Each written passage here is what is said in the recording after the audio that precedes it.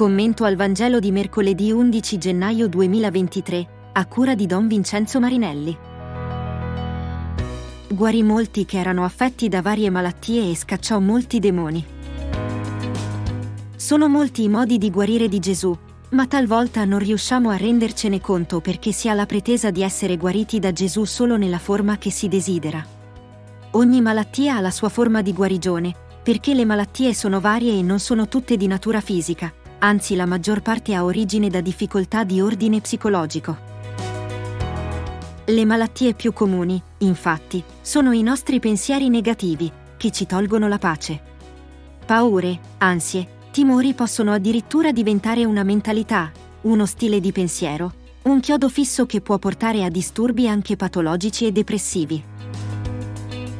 A volte cerchiamo la guarigione nel rimuovere il problema, piuttosto che chiedere al Signore di volta in volta la perseveranza di esercitarci nella pazienza, nell'ascolto, nel sopportare i disagi.